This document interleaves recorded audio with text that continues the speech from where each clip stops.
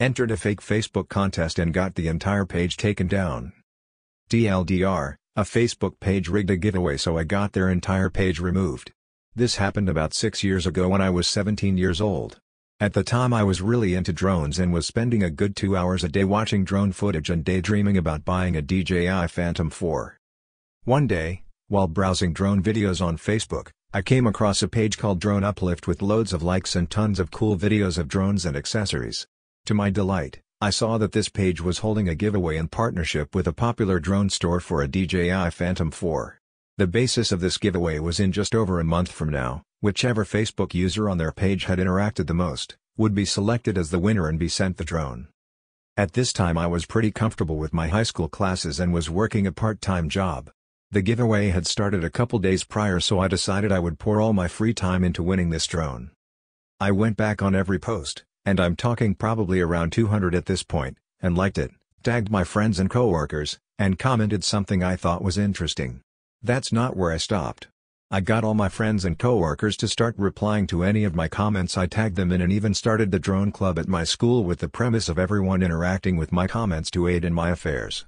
At its peak I probably had around 50 people regularly liking and replying to my comments on posts that had around 20 comments max. I also noticed that this Facebook page had yet to start using Instagram.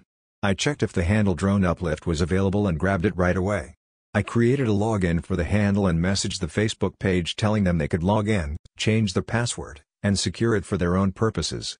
They replied thanking me, secured the handle, and posted a video there within the week. The week leading up to the giveaway date I'm feeling pretty fucking pumped. I'm the top contributor by far on the page and everyone I know is telling me that I'm a clear winner for the giveaway. The date of the giveaway comes up and to my dismay I don't win. They announce the winner as James Wilkins or something like that. Now remember at this point I know this Facebook page inside out.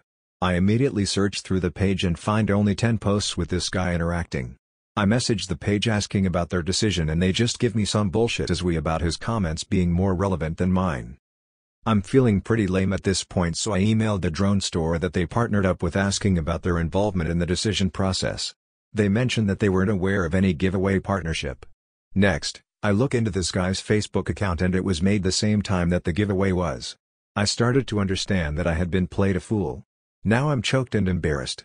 I involved so many people in my life to help with this whole ordeal and feel like I wasted all of their time. I had to do something.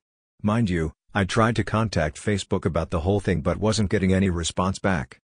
I screenshotted the entire ordeal and sent it to the rep from the shop I was talking to and told him this page was making them look really bad with a fake giveaway. His reply said something along the lines of thank you we are now investigating this issue and considering legal action. Nice. I didn't stop there. I took screenshots of those emails too and created my own Facebook page called Drone Uplift is a Scam. And posted the entire thing on the page. Then I messaged everyone that I noticed was a high contributor to the page during my previous month of diligence with my story and had them post about their interaction as well. My page ends up getting decent traction with people talking about how pissed they were that the whole thing was fake so that whenever you searched for their page on Facebook, mine showed up right below it.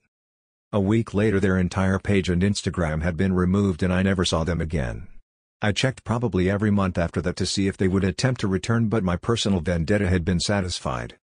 Don't fuck with high school kids on the internet. They got time. Please like, comment, and subscribe to help me in my fight against unfinished stories.